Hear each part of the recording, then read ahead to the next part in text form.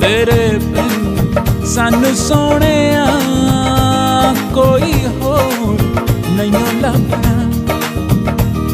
ਜੋ ਦਵੇ ਰੂਹ ਨੂੰ